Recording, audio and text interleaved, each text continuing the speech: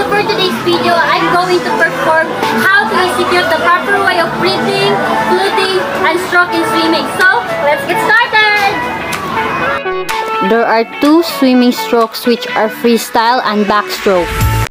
Freestyle, this might be the most common swimming strokes among other strokes.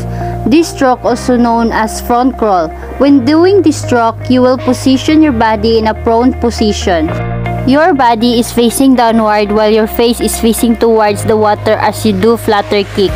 Your arms will move from side going forward alternately. Backstroke.